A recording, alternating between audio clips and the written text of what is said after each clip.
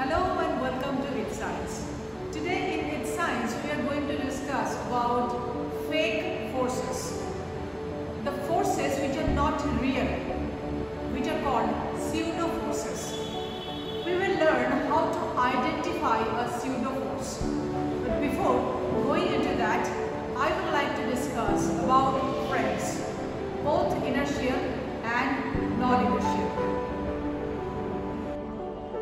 I discuss about non-inertial frames, let us discuss about what is an inertial frame. An inertial frame is a frame where the Newton's laws of motion, that force equal to mass into actual acceleration, holds in its own form. Suppose I am sitting on my bike, I am at rest. What are the forces acting on me?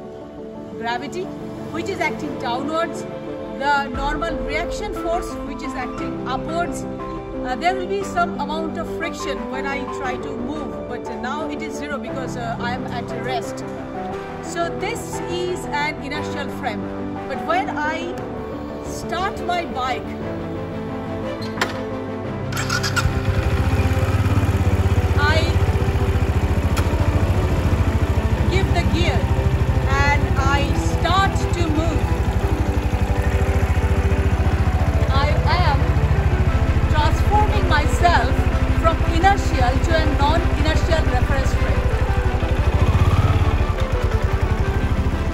It's a non-inertial frame when the body is moving in a straight line.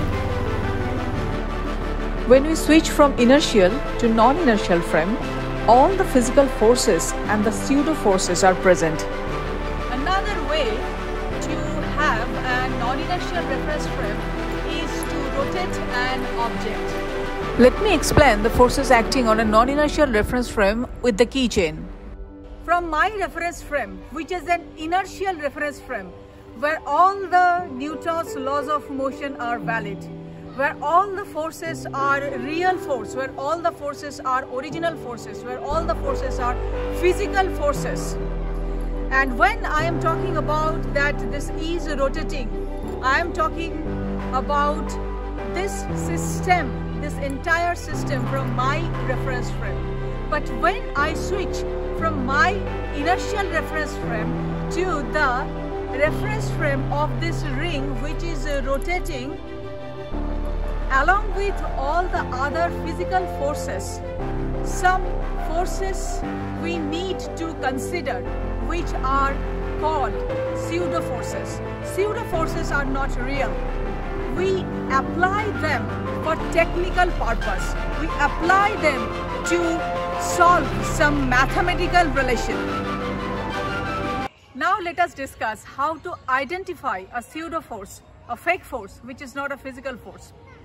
Whenever we are talking about some system, whenever we are talking about some forces, we need to ask one question.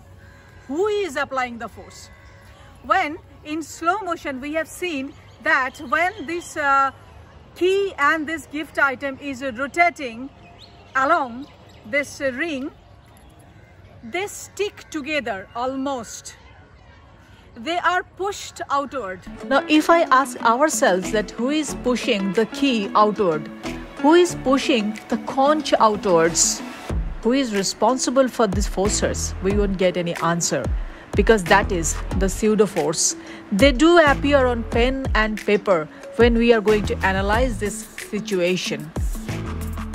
Let's talk about non-inertial frames attached with rectilinear motion. Please observe the motion of my bag. In the starting and the ending of the rectilinear motion, it feels that someone pushed my bag in the left and right direction. If we ask who is pushing the bag, we don't get any answer. That is a pseudo force. In inertial frame, force equal to mass into acceleration is valid in its form. But in non-inertial frame, this is not valid.